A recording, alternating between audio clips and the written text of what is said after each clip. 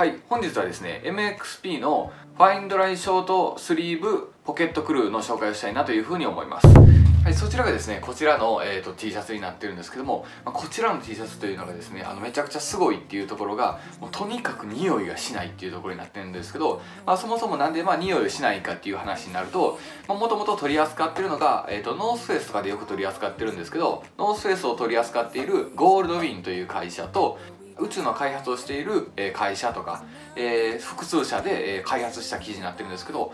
宇宙っていうのは基本的にあのお風呂もないですしシャワーもない状態の中で着替えとかもそんなに持っていけないので1週間まるまる同じ服を着てるっていうことがあるんですけどやっぱりそうなってくると匂ったりとか衛生面がどうなんやっていうのがあったりして、まあ、極力長く着れる、えーと、インナーであったりとかシャツっていうのを作ろうっていうので、まあ、共同開発で作られたというものになってます。なのでとにかく匂いがしないっていうところになってて、まあ、詳しくですね、まあ、特徴としてはもう3つあるかなと思うんですけど、まあ、まず1つっていうのが消臭力。もうこれはもうダントツですごいなと思うんですけど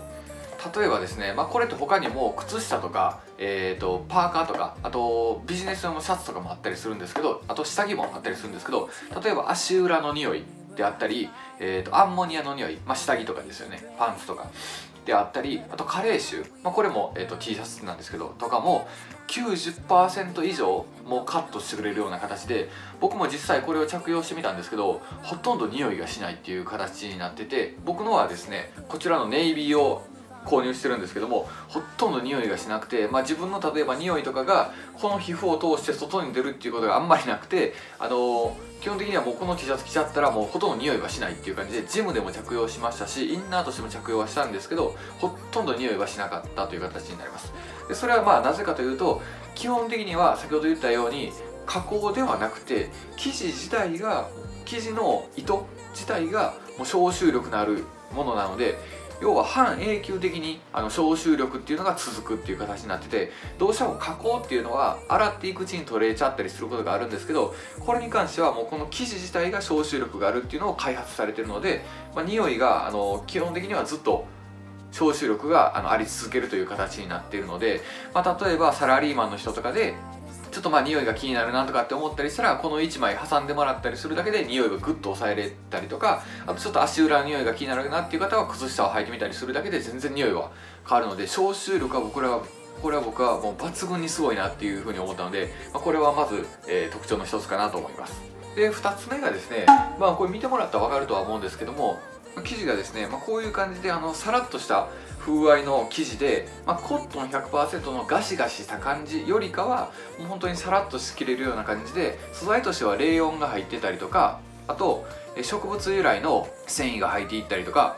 あとまあポリエステルが入ってたりするので、まあ、生地感としては本当にサラサラしてるっていう感じになってるので着心地はめちゃくちゃいいかなと思います。ただ僕一つ気になるのが着てて思ったのがこの首元のこのタグはチクチク当たって痛いのでおそらくこの動画を撮った後はこのタグを切ってるとは思うんですけどまあもちろんこれは人の好みがあると思うので僕はこれが気になったのであのこの動画が終わり次第多分切ってるとは思います。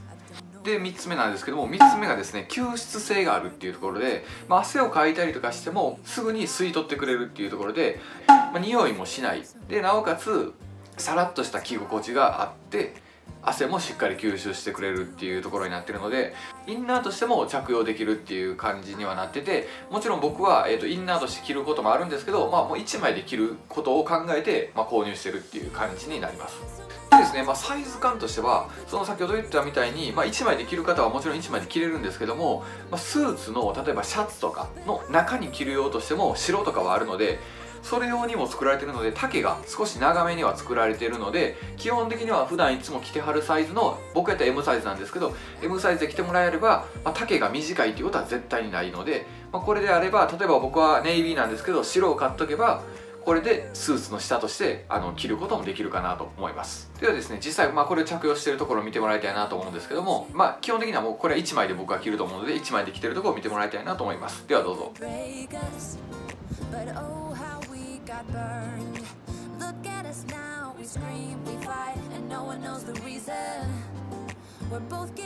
はい。という感じでですね、まあ、サイズ的には M がジャストかなと思ってまあ丈も長すぎることもないしちょうどいいかなっていうふうには思ってるのでまあスーツのインナーでも肌着としても全然使えるんじゃないかなとは思います。でカラーがですねホワイトグレーブラックネイビーの4色の展開となっていて、まあ、先ほども言った通り靴下であったりあとまあ肌着であったりでこれは丸首なんですけどクールネックって言って V 字のタイプもあったりとかあとそれ以外にはシャツ。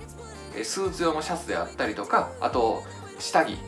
とかもあったりするのでまあえっと、こういう風に消臭がされてるので、まあ、ご自身が気になるところとか気になる匂いがあるところに、まあ、あのこういうのを持ってきたらいいんじゃないかなというふうに思います、まあ、特にこれから夏場とか